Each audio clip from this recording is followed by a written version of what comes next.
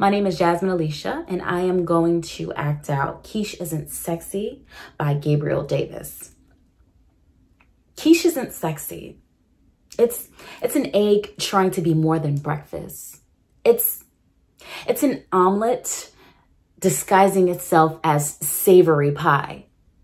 It's the perky beginning to one's morning, and it should be the lusty end You could have made lamb. Wonderful, rare lamb.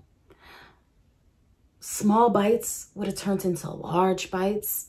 And soon we'd have lamb bones in our hands and we'd devour.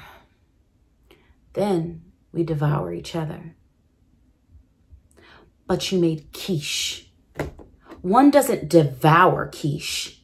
Quiche is eaten in small, dainty bites.